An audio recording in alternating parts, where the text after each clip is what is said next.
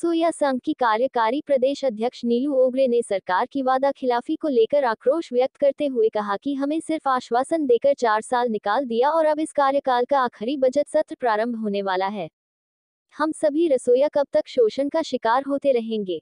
संगठन के समस्त सदस्यों और पदाधिकारियों से अपील की है कि अब सरकार के इस कार्यकाल का आखिरी बजट है। अगर अभी हम चुप रहे तो हमारे बारे में विचार नहीं किया जाएगा।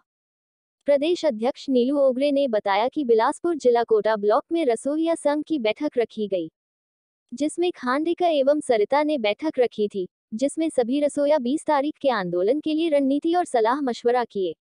20 तारीख के हड़ताल में उग्र आंदोलन की तैयारी में हर ब्लॉक और जिला में बैठक एवं तैयारी चल रही है। इसी क्रम में रसोईया संघ की बैठक तेंदुकोना में रखी गई थी, जो कि शांतिपूर्वक संपन्न हुई। गणेशी जिला कोषाध्यक्ष, धन मोतीन ब्लॉक कोषा अध्यक्ष पानबाई दीदी ब्लॉक अध्यक्ष, प्रदेश अध्यक्ष नीलू ओगरे ने आह्वान किया है, जिसमें सभी रसोईया रैली में जाने के लिए समर्थन दिए। इस दौरान सभी संकुल अध्यक्ष एवं ब्लॉक अध्यक्ष एवं प्रदेश अध्यक्ष मौजूद रहे। संभल जी के साथ ढालेश धजो एवं सभी पदाधिकारी मौजूद थे। मीटिंग रखे रही से हमार ढालेश भाई हा और हमार गणेशी बहनी हा मीटिंग रखे रही से एवं ओकर साथी गणमन मीटिंग रखे रही से।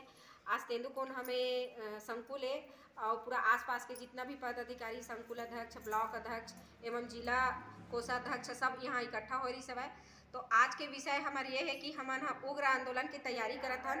अगर ये बजट सत्र में नहीं देते तो ज़्यादा से ज़्यादा हमन बोलते हैं ना एक छत्तीसगढ़ी में कहावत है लइका पिचका समेत। हम उग्र आंदोलन के तैयारी करत हन। अगर ये बजट सत्र में नहीं दी तो पूरा लइका पिचका समेत हम नया रायपुर में धरना स्थल में बैठ जाबो। ये ते मोर साथ में छोटे बहनी है जो 2012 से दो 2012 से रांधा थे। अ, 2012 से रांधा थे ये बिचारी हा एक छोटे से लइका है। छोटे से लड़का है, तेल खई खवाए पर भी पैसा नसीब नहीं हुआ है। अगर हम एक दिन के देखा था तो मात्र पचास रुपया है।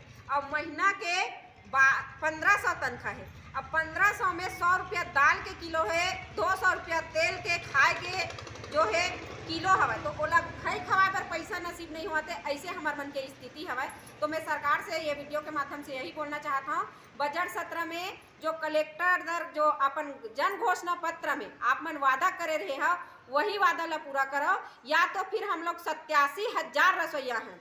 और घर परिवार ला लेके जोड़ तो कम से कम चार लाख वोटर होथन हमन हा। अगर चार लाख वोटर आप मन ला चाहिए आप मन के मतदाता नहीं कटे तो हमन नौ हज़ार एक सौ अस्सी रुपया ला दे दे कलेक्टर दर जो हमार मांग है तेल ला या तो फिर पाँच साल पछताए बर तैयार हो जाए हमसे जो टकराही